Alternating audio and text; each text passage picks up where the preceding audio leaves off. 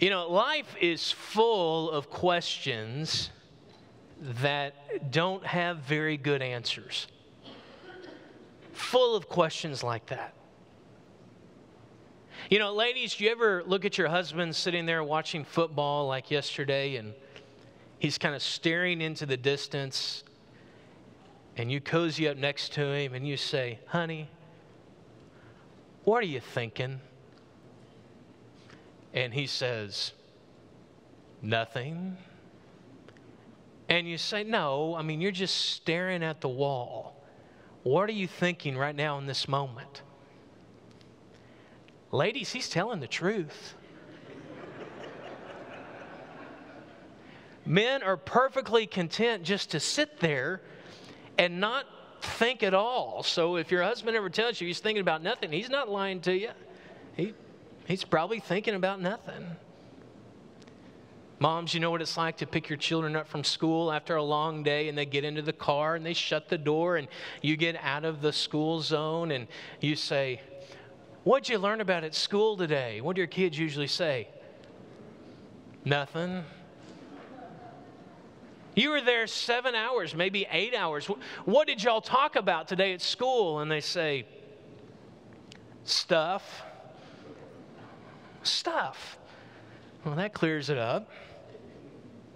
Maybe the best one, though, we've already, we've already picked on the men, but husbands, you know, when you're trying to be real kind and chivalrous and you ask your wife, Hey, sweetheart, where would you like to go to dinner tonight? She says, I don't care. You pick. So you pick. And you pull into a parking lot, and she says, You picked here? and you say, Well, you said you didn't care. And she says, Well, I thought you knew me better than that. Those are questions that don't have very good answers. And the longer you live, the more questions you come across just like that. But there's another question that has been asked for hundreds of years, and it's never had a good answer. Why do bad things happen to good people? Why do bad things happen to good people? Why is it that someone for their entire life they can take care of their body, they can eat right, they can exercise, they go get checkups, they realize that their body is a temple of the Holy Spirit and so they protect it. And then they come down to their 60s or 70s and they go to the doctor and they find out that they've been diagnosed with stage 4 cancer even though they've done everything the right way. Why does that happen? Why is it that a man can work for the same company for 25 or 30 or 35 years, maybe even 40 years, right after he gets out of college, and he is a loyal employee? He gives his everything to that company, and retirement is within his grasp.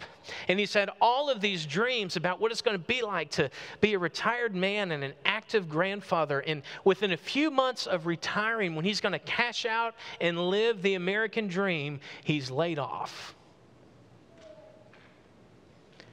And he's forced to work 10 or 15 or 20 more years. And he never gets to enjoy the life that he thought he was going to have. Why does that happen?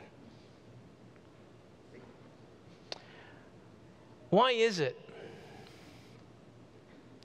that there are hundreds, if not thousands, of adults in this country who are not fit to be parents, don't want to be parents? And it seems like they can get pregnant just by looking at each other. And there's this godly couple who wants so badly to be parents and to raise a child to know the Lord, and they can't get pregnant. Why is that? Why, why is it that this young teenage girl with the rest of her life to live. She is killed by a drunk driver. But then there's a faithful Christian who's in their 90s, who's lived a good life, and they just so desperately want to go home and be with God, but for some reason their body just won't give it up, and they watch every dollar that they've saved be depleted by the tremendous amount of cost in health care.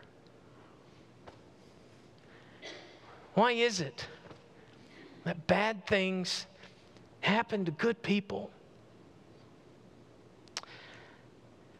I don't know. I don't have one exact reason. No one does.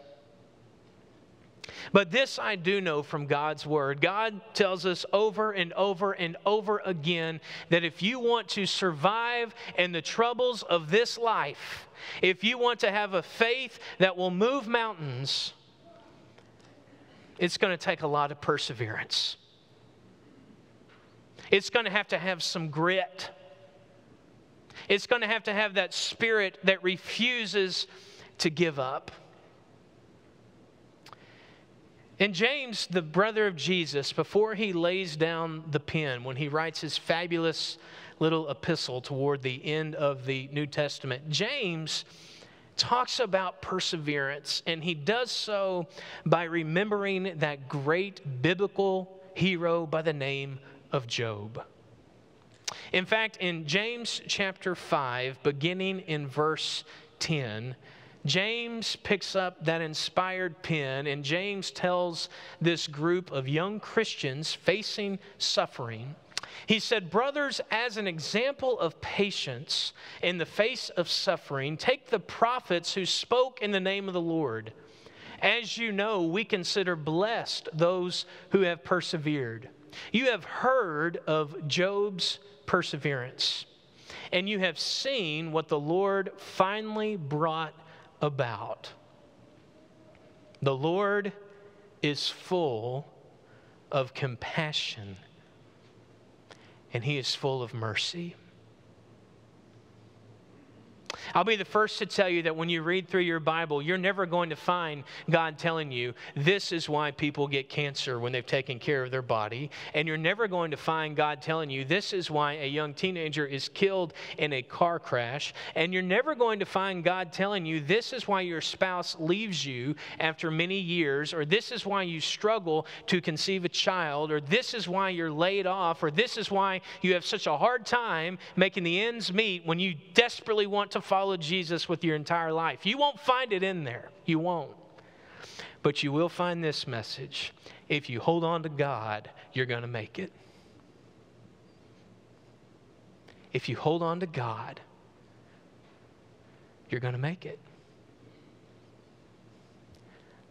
But it's going to take everything you've got. And through our suffering, through the example of Job, we learn a lot of things. First of all, we learn that through suffering, we truly come to know God. In fact, I think it's impossible to think about suffering without thinking about Job's life. And I can't think of a better example that James, inspired by the Holy Spirit, could have used to make this real for us and real for his readers. Do you remember everything that happened in Job's life? Job lost his home, Job lost his assets, Job lost his health. Some of you in here, I'm sure, have lived through the terrible tragedy of bearing a child.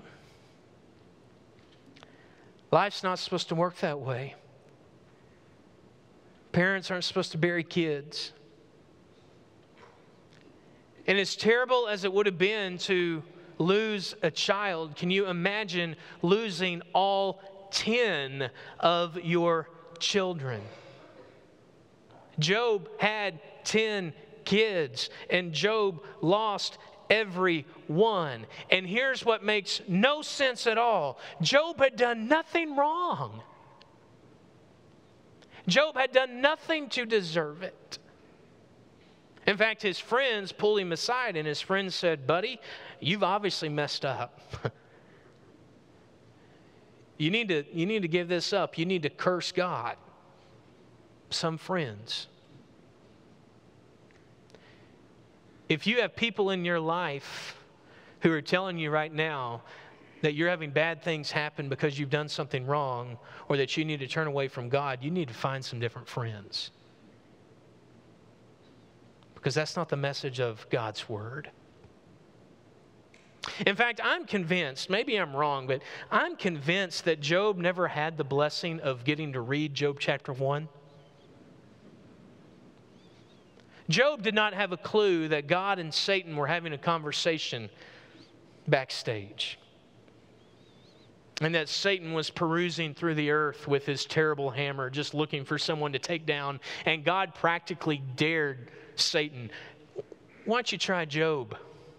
There's no one else on earth like him. See if you can turn him. I give you free rein. And Satan accepted the challenge. And Satan did everything he could to take Job down. The book of Job is 42 chapters long, and for 37 chapters of the 42 chapters, God doesn't say a word. Job cries out, Where are you? What's going on? Job is confused. Job is angry. And for 37 chapters, it is complete silence until we get to chapter 38. And God breaks his silence. And God speaks from heaven. And we can just imagine that booming voice of God saying, who is this who darkens my counsel with words without knowledge? Brace yourself like a man. I'm going to question you, and you will answer me. Job Where were you when I laid the earth's foundations? Tell me if you understand. If God ever says to you, brace yourself like a man, I will question you and you will answer me, you've poked the bear. And for 37 chapters, God allowed Job to question what was going on. Chapter 38, God said, Now we're going to have a conversation. Who are you to question me? What I do, when I do it, why I do it, how I do it. Tell me if you understand.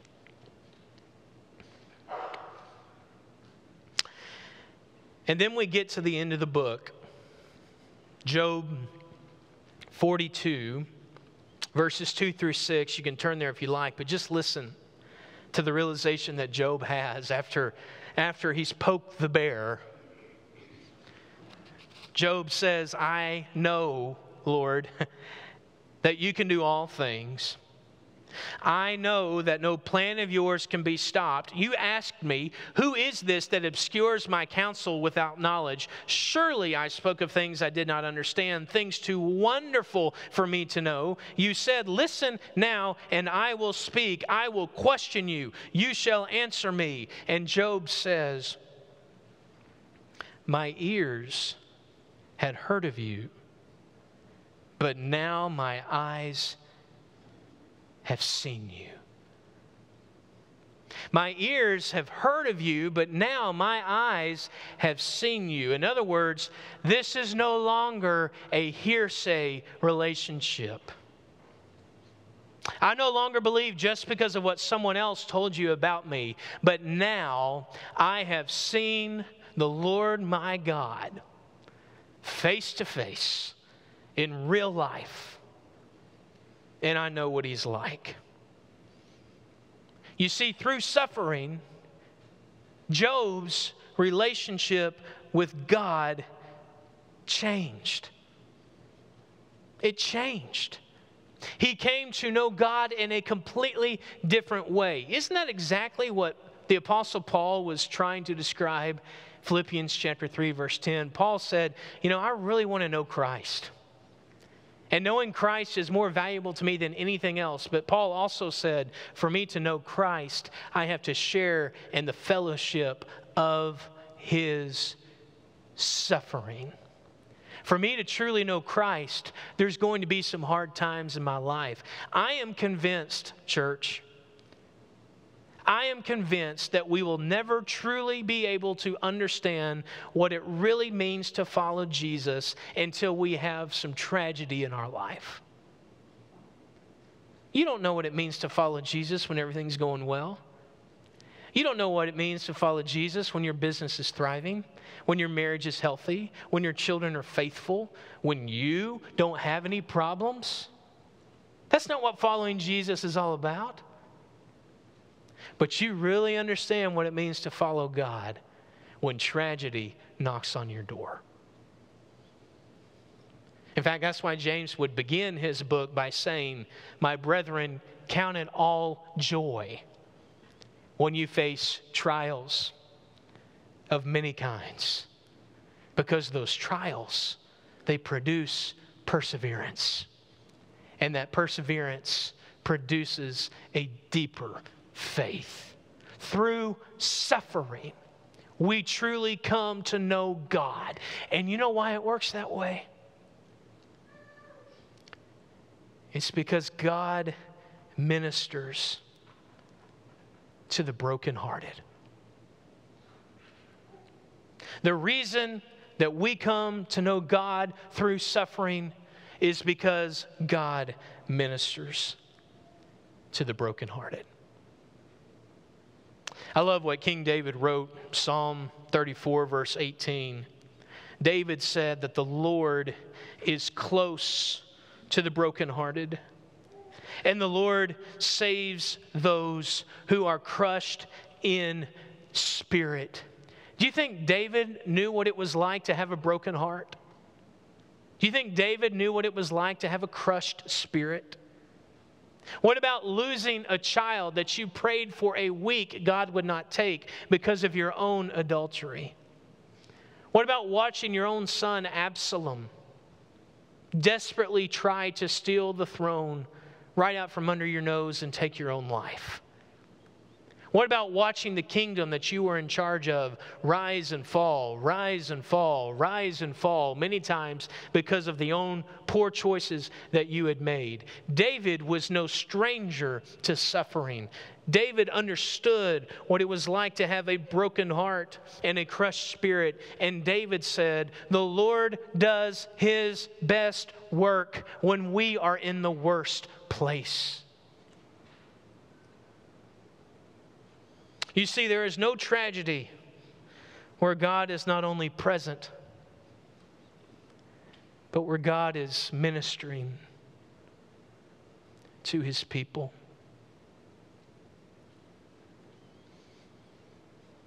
Which means in the hospital room when you're holding your loved one's hand and you watch that monitor go flat and you know that their life on this earth is over.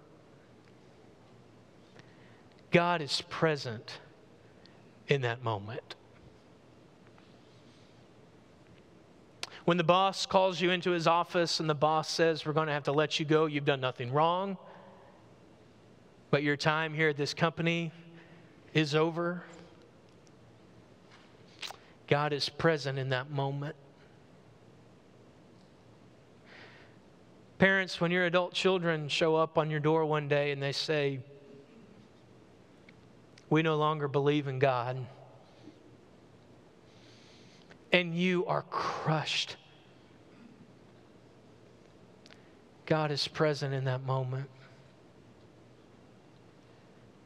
When you have waited for so many years to have a child,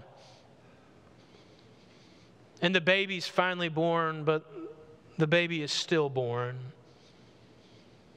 and you don't get to take the baby home to the nursery that's prepared for the child. And all you can do is weep. God is present in that moment. When your family is turned on its head, in the heartbreak of divorce, in the jaws of addiction, in the thick and terrible calamity of abandonment. God is present in that moment, and God is ministering to his people, and God is doing some of his very best work. The absence or the presence of hardship does not mark the absence of God. The presence of hardship does not mark the absence of God. God is still close by and God is still ministering to his people. That is exactly how it worked for Jesus. You know, the prophet Isaiah wrote a lot about Jesus 750 years before Jesus ever came to earth. In Isaiah 53, even though Isaiah probably didn't know what he was writing about, Isaiah told us what was going to happen to Jesus when Jesus got here. Isaiah used words like despised and rejected and a man of sorrows, familiar with suffering, stricken, pierced. All of those things were going to happen to Jesus. And Jesus wasn't just a good man, Jesus was a perfect man, and bad things still came into his life. But even for Jesus, even for Jesus, because of the suffering that he endured, his relationship with God changed. Even Jesus was promoted. When John begins his gospel, John chapter 1, verse 1, John tells us, In the beginning was the Word, and the Word was with God, and the Word was God. They were together there in the beginning, almost as if they were equals. But after Jesus lives and after Jesus dies, the writer of Hebrews tells us, Hebrews chapter 12, verse 2, that Jesus sat down at the right hand of God even Jesus received a higher place because Jesus suffered. And if it worked that way for Jesus, who had done nothing wrong, why would it be any different for us? You remember in 2 Corinthians 12 when three times Paul prays that God would remove the thorn from his flesh? God says, No, no, no. Paul hears, My grace is sufficient for you.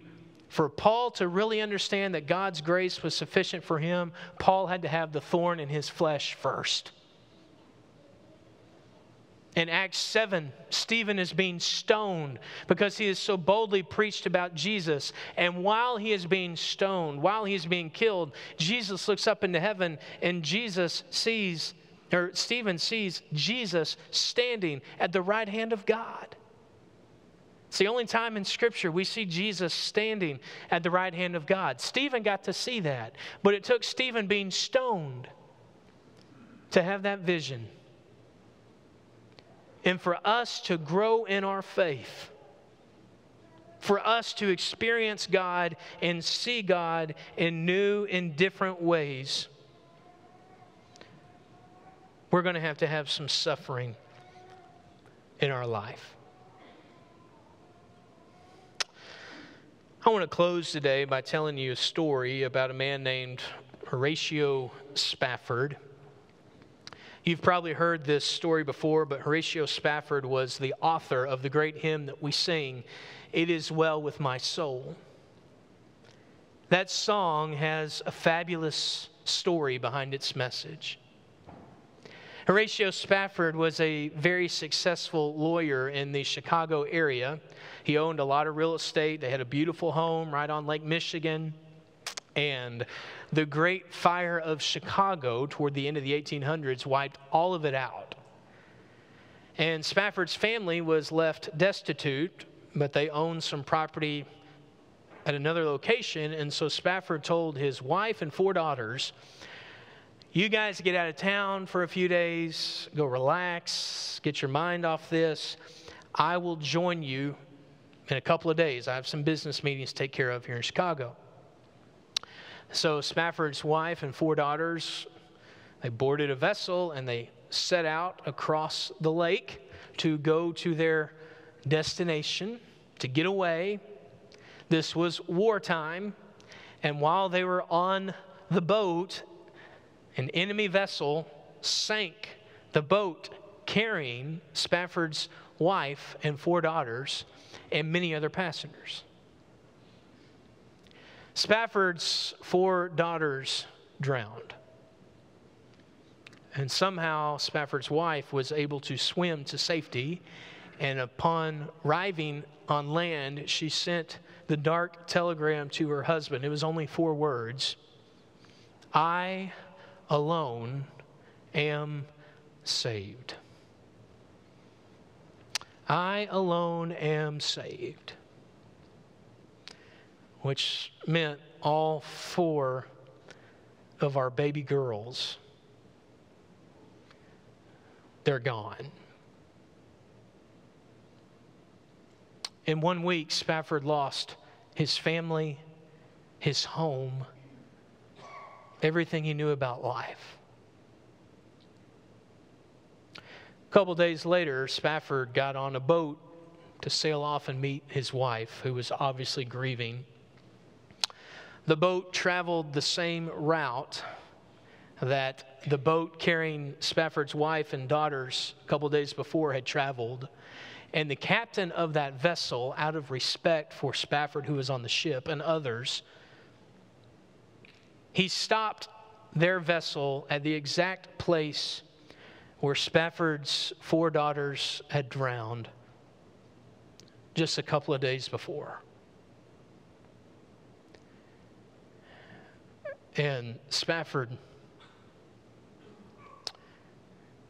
grabbed a pen and grabbed some paper. And he walked up to the railing of the ship and he looked down at the very place where his daughters had drowned. And he wrote the words When peace like a river attendeth my way, when sorrows like sea billows roll, whatever my lot, thou hast taught me to say, It is well. It is well with my soul. I'm sure that you love this great hymn. What you may not have known is for this song to be written, there had to be a shipwreck for this song to be sung in the church, there had to be some suffering. And as we finish today, if, if you'll allow me, I've already asked John Scott and he agreed. Let's just sing this song together. When peace like a river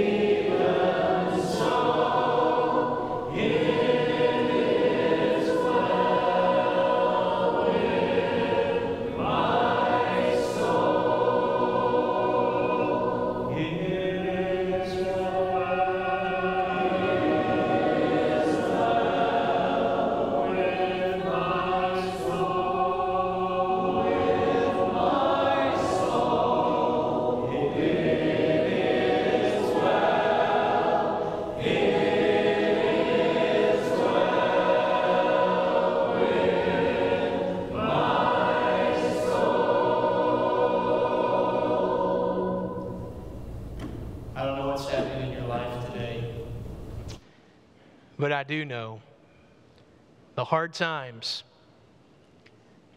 they'll bring you closer to God, and you will love Him and appreciate Him so much more. God ministers to the brokenhearted. If we can help you in any way, if we can pray for you, if you'd like to put the Lord on today in baptism, we would be most honored. If we can help you in any way, please come forward as we sing this last song together.